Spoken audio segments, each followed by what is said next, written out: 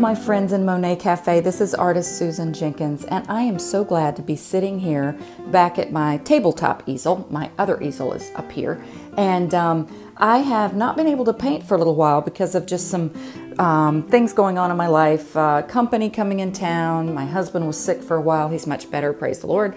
And um, I am now sneaking in a moment to just do a little painting, kind of um, getting warmed up again. And I just wanted to kind of share with you what I do to, to get warmed up again when you've been away from your easel a while. It's good not to get too serious too quickly. So what I'm going to do today is I've taken um, some of my watercolor, it's a pad, a watercolor, I think it's called a block of watercolor paper. I have it here.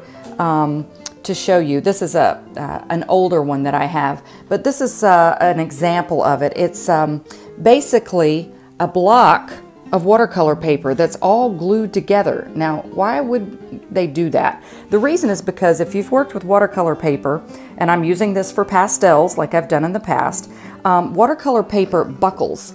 And um, when you add the water, um, it will warp, and a lot of times you have to tape it down. Well, when you have it on this block, um, you're able to paint on it and the block is already adhered. Each page is already almost like taped down on the sides, so you're able to use it without it buckling. And then when you're finished, you've got a nice little corner uh, right in here where you basically can get just like a little X-Acto blade or the edge of a palette knife and just kind of start peeling back that one sheet um, to peel it off.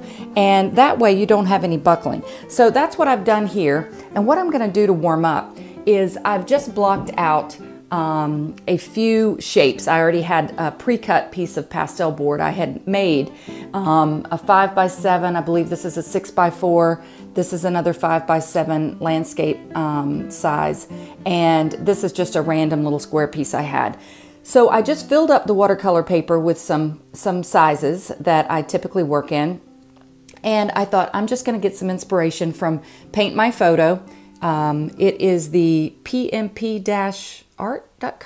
website. You guys, if you've been on my channel before, you've seen how I use the this website to get reference images. And this is just my uh, my photo um, album that I've already pre-saved photos to. This is, uh, I think this one is Fields. And so I have a bunch of photos already pre-saved so I don't have to sit down and go through all the photos and waste my time. You know, usually I get so into looking at the photos I never end up painting. So this is a great way for me just to get to work really quickly. So I'm just gonna quickly pick some of these images and start painting. And the great thing about doing it this way is um, like I said, again, the purpose is just to warm up, to get back into things, is that you don't take it so seriously. This is going to be fun. And a lot of times when you have that attitude and that approach, it comes out better than when you do take things seriously. So my technique that I'm going to be using for this is some of you guys have seen my videos where I actually use the clear gesso to paint on the watercolor paper to give it the grit the surface so I can apply pastels to it. It will hold to it. Right now, if I just took pastels and started painting on this, it would hold a little, but it would fall right off and I wouldn't get any layering. So that's why we use the clear gesso. But what I often do first, which is what I'm going to do today, is I'm gonna do an underpainting. I'm gonna keep it free and loose. I love using these Neocolor water soluble. They're actually called wax pastels I really don't know why they're called wax pastels, but they work great for getting an underpainting down. They look literally like coloring crayons, like Crayola crayons. And uh, I break mine up a lot just to use them in different shading and things. So um, what I do is, you'll see, is I'll do a quick little sketch underpainting. I'll wet it with water. Again, this won't buckle as bad because it's on a, a block. Um, and then after that dries, I will paint on this clear gesso to give it the grit and then I can use the pastels on top. So I'm giving too much explanation. I need to just get to it right now and we're gonna have fun. I've missed you guys and I'm very happy to see the Facebook Monet Cafe art group growing and wow, what amazing comments I'm getting from you guys. And I love it as much as y'all do. So anyway, if you want to um, ask to join that group, that would be great. You do have to ask to join, but just mention that you, there's three questions it'll ask you, but one of the questions is how did you find out about this group? Just say you saw it on, you know, Susan's uh, Monet Cafe channel or Monet Cafe on YouTube, and um, someone will very likely um, accept you into the group. Okay, so let's get started on this and I'm ready to have fun. I've got to hurry because I got an art student coming later. Okay, here we go.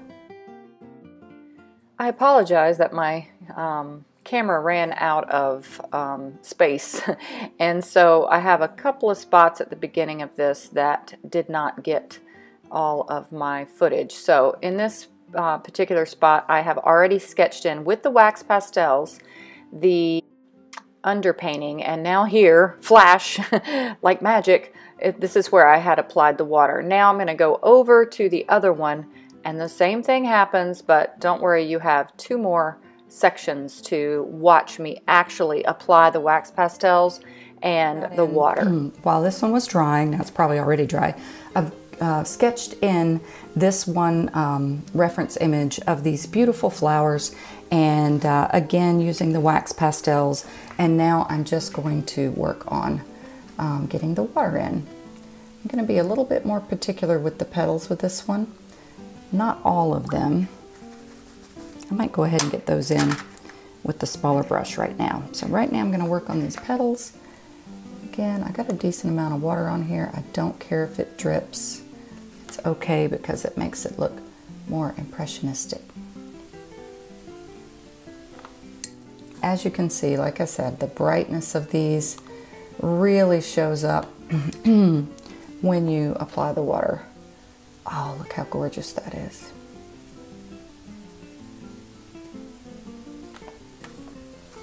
And again, I don't want to get too fussy with this because then it's going to lose that spontaneity. That's the trick. Keeping things somewhat um, accurate with um, the way flowers really grow, but at the same time, getting that looseness.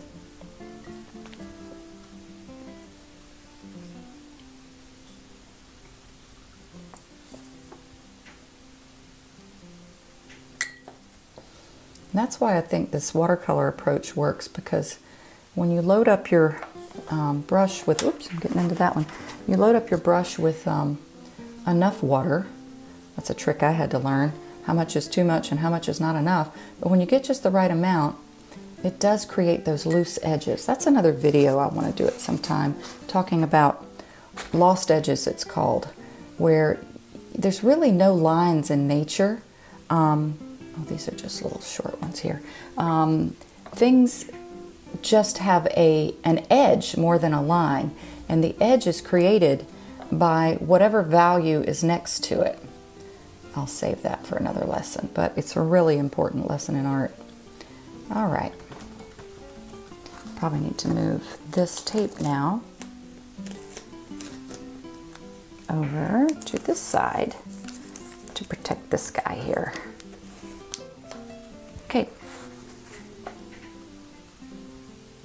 And again, this one, um, you need to uh, recognize, or I do too, that um, flowers aren't always going to have, even though they're the same flower and they're probably the same color, they're not the same color in nature depending on where they are in the shadows or in the light. And um, if you paint them all the exact same color pink or the centers all the same, it's going to look very amateurish. So you need to constantly be checking those values. I know I talk about value all the time, but it is so, so very important. All right, so we got a general idea of these, and I probably have these even too fixed right now, but um, it's okay, because again, this is just for a warm-up. Now, I'm gonna go ahead and get in behind some of these, and then this one will get a little more blurry as I add the water, which is okay.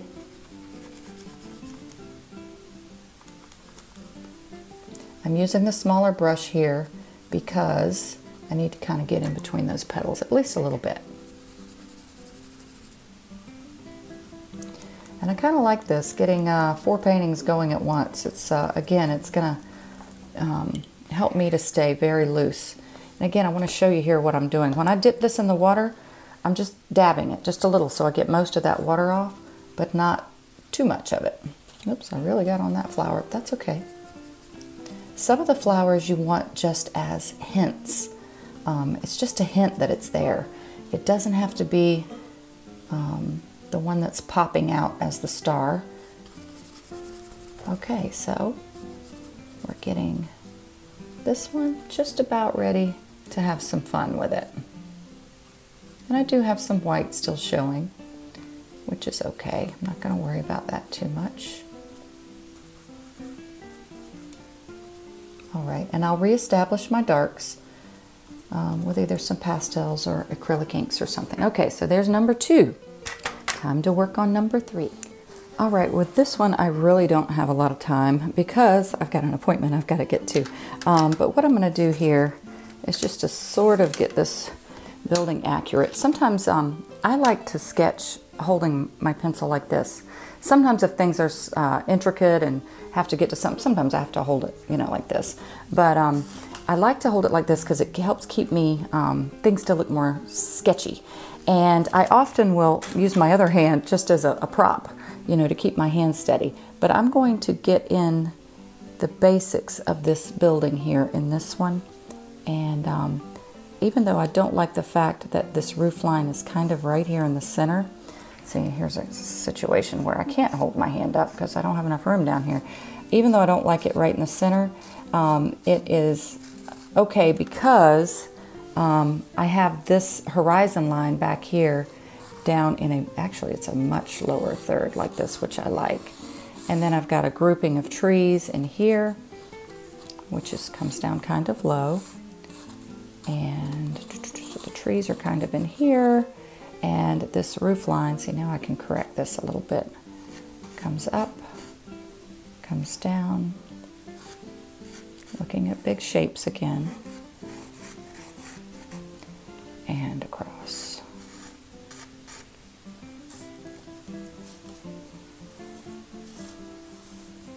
And you know, I actually love painting flowers and trees for the fact that if you get something a little off, it's not that big a deal. but you want to get, if you're doing anything that is uh, structural, then you definitely want to get your uh, angles right and your perspective and everything right. So, um, but at the same time, if you get it too perfect, then you've lost that sketch, sketcherly, painterly look again. All right, these trees actually come in front of that building, so this is just a hint, a little hint of this building. You almost don't even see this edge, but um, this value is going to be darker in here on this side. And then we got little shimmery things in the roof line. Okay, now to time to sketch.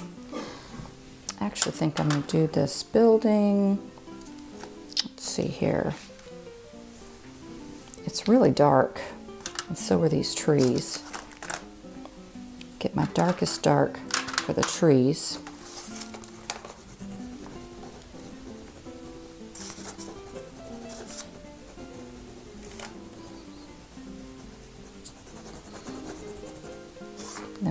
These trees in the distance back here. I'm just going to kind of give an idea of that. The sky is really what's gorgeous in here. And I actually, I wish I had a longer format here. All right, let me get this building. I'm just going to go a little crazy with this just to get the, the general idea of this. This side is even darker.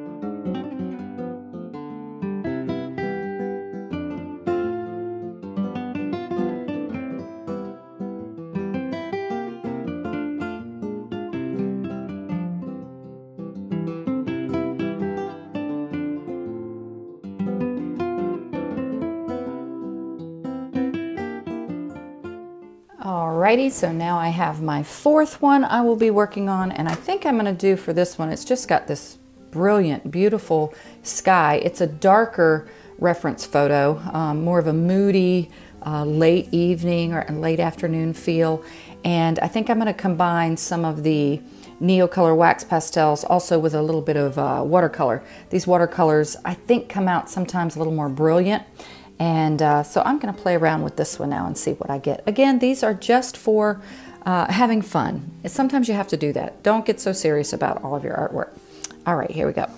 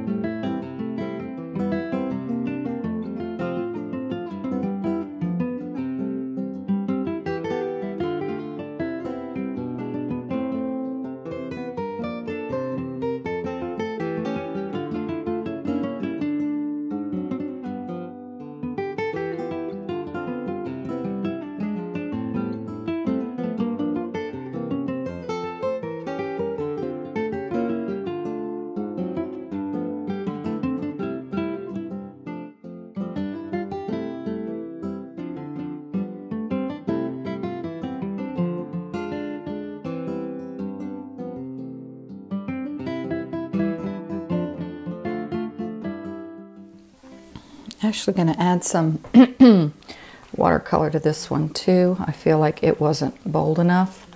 So I'm just going to enhance it a bit.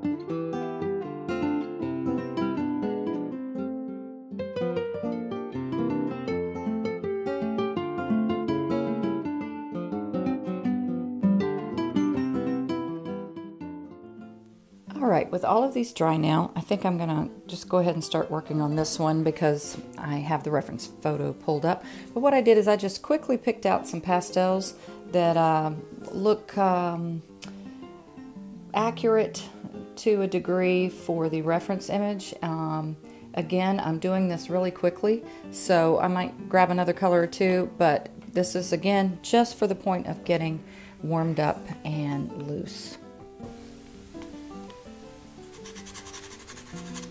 Oh, I didn't do the gesso. I can tell right away I need to put the gesso down. Let me do that. All right, now I'm going to be applying the clear gesso to all of these um, so that I have um, some tooth to the paper to be able to apply the pastels. And this again is just going to be loose and sloppy and free, kind of like the uh, underpaintings that I did. And you'll notice that they do smear a little bit, but I actually kind of like that. You get a nice, uh, just a impressionistic type of a background. All right, there's one. I'm gonna wipe this off a little to get some of the color off.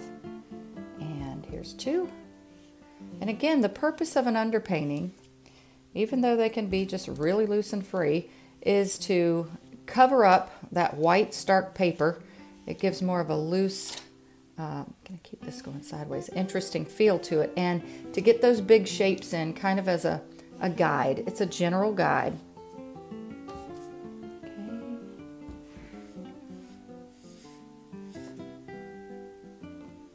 I'm just putting it on the little foam brush. And uh, typically I'm going top to bottom again because sometimes I have some lighter colors at the top and uh, I don't want them to get um, muddied up by the darker colors. I am wiping this brush off. I have a little piece of newsprint here and I'm just sort of wiping it off to get um, some of the darker color off of it. All right, last one. All right, so I'll just let this dry and get started. All right, I've given myself a timer, I just set in my kitchen, of 15 minutes to work on each one of these. Um, again, just to keep it quick and loose. And uh, I have picked out um, some pastels here. I may have to grab a couple more. I don't think I have enough uh, light values for the sky.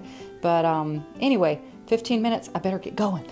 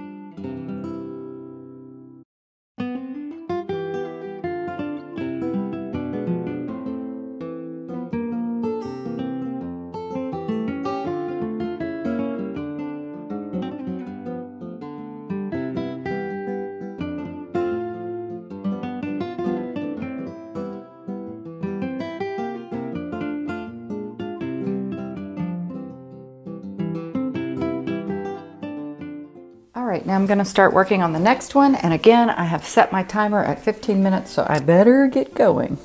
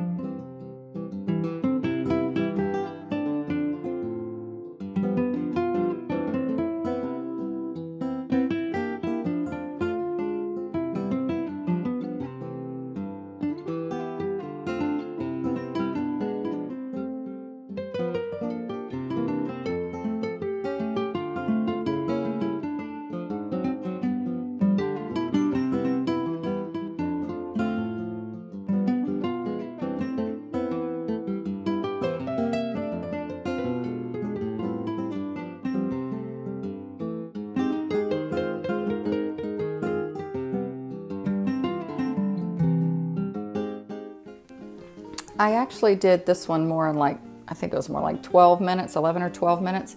Um, and I think I'm working even faster, which is probably a good thing because I'm not really happy with the the real bumpy texture of this. I'm not, it's not working as, as good as it did when I applied the Gesso 2 uh, a different watercolor paper. This one is a lot more textured. Um, so the point of this is really, like I said, just to get loosened up and to have some fun. So I actually already set the timer to do them even more quickly. I'm going to do this one um, in, I set the timer for 10 minutes, but I've probably already run out of that time. So anyway, here I go again, more fun. And I'm just gonna work with the pastels I have already here because I don't really wanna get up and, and fuss about getting other ones. So, all right time to get started again.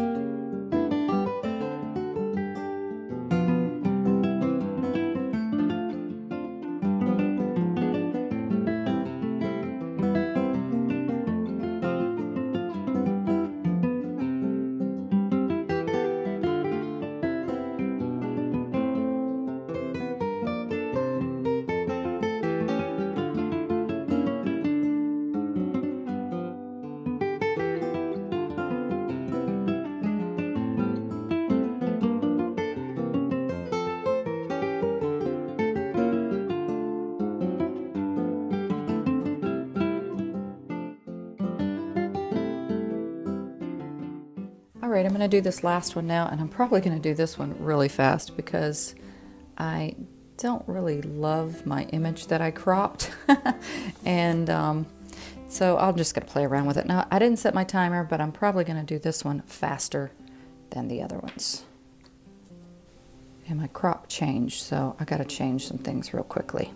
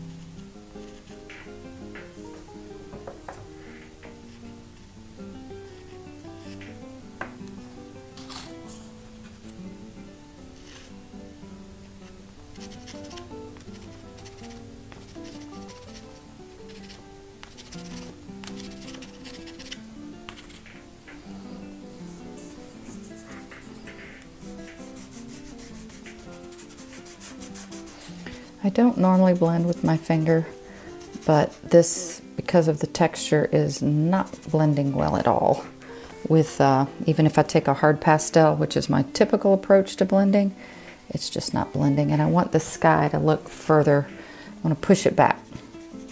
But what I am doing, if in the rare time you have to use your finger, I'm cleaning it off each time so it doesn't muddy up the colors quite. As you see it's already muddied them up a little bit. But anyway, again, this is just a study, not an important serious piece.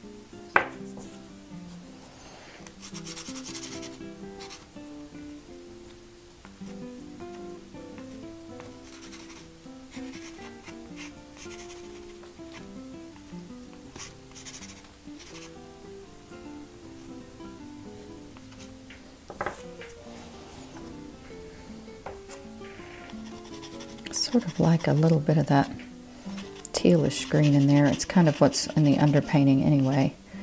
And I don't know, it's just kind of interesting to me.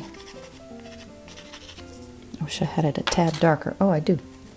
Here's a little more. It's a little darker here.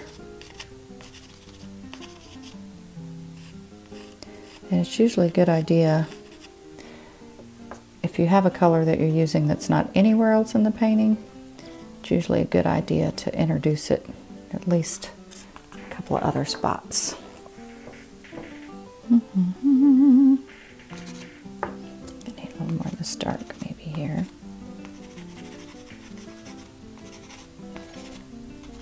These are those little foreground, they look almost like cattails or what's that called? Sawgrass. And um, I don't want to overdo it actually already this is the heavier side. I probably should have gone lighter on this side and heavier on this side. But again, getting a little too serious for a study. Yeah, I can use this and tone these down over here. Okay, and I don't like to have a total border across my painting, so I typically try to introduce um, uh, little openings here and there so that it's not like a barrier to the painting. All right, now I'm just going to get some of those cattails, and all I have is this, for the darkest darker, these chunky Terry Ludwig, so I can't get probably as small as I need, but just a couple of little indications is all you need. Sometimes you want one higher than another one, and you don't want them lining up in a straight line. So, all right, so here we go with our final little warm-up paintings just to get loose and, and work quickly. As you can see, when I started working, this one I took the most time on and it probably looks the most fussy. and uh, I gradually decreased my time as I went around. Um, uh, I'm not sure, this one might have been the least amount of time, or maybe this one. And again, these are just to work quickly and to kind of get back into the swing of things when you haven't been painting for a while. And what would I do differently? I think from here on out, I will probably work on a less coarse piece of watercolor paper. As you can see, I really got the texture in there. But, you know, if you like texture, then, you know, you might want to use this technique. But anyway, you can see how quickly you can pop these out and uh, and just get kind of warmed up and have some fun. We don't need to always be so so serious about our artwork. This is about just exploring and having fun and uh, just learning more as we go. So anyway, guys, thanks for joining me. And if you haven't joined our Facebook group yet, uh, you can find it at Monet Cafe Art Group on Facebook. You will have to ask to join, but just say that you saw um, or you learned about it from the YouTube channel Monet Cafe. So anyway, guys, thanks so much, and I hope you learned something. Happy painting!